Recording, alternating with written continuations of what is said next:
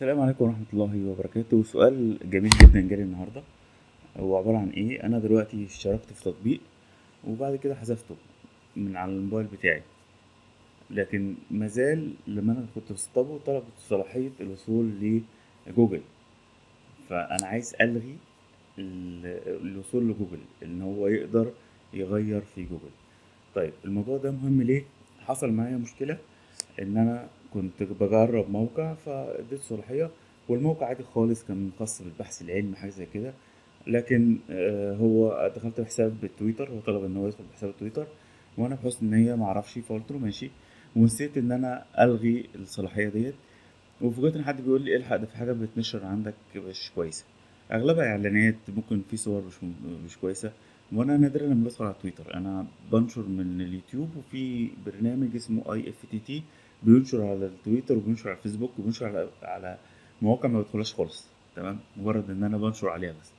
فدخلت فعلا فوجئت فاضطريت إن أنا آه، أشوف ال- الحاجة دي وأحذفها. ممكن أنا أدي صلاحية الموقع الموقع يكون الواجهه بتاعته كويسة بيعمل صور لكن ممكن يستخدمها إن هو يحط إعلانات وبيحاسب الناس عليها وبيكسب ملايين من وراء الحاجات دي. فلذلك إحنا مهم جدا لو تطبيق استخدمناه واديناه حق وصول صلاحيه للفيسبوك أو تويتر بقدرش نستخدمه نشيله من عندنا. هنبدأ نشوف موقع موقع بيعمل إيه بس خلينا دلوقتي في جوجل.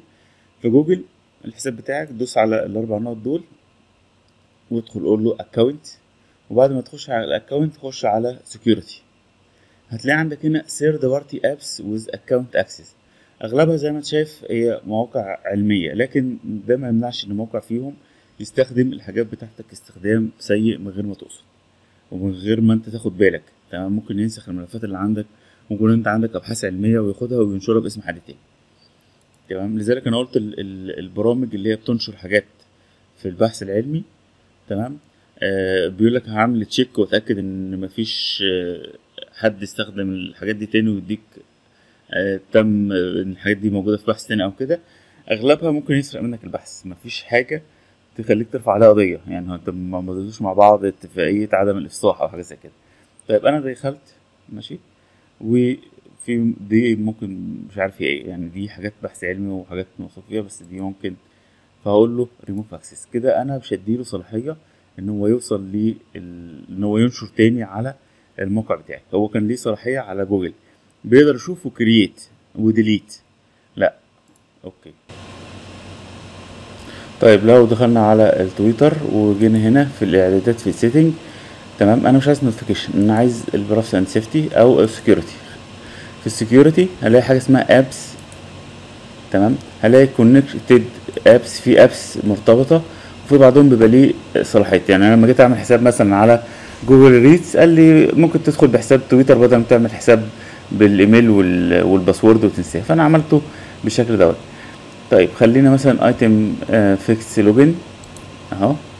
تمام؟ هتقول له revoke app's permission تمام؟ هو ال permission بتاعه read only يعني هيقرأ البيانات بتاعتك عادي.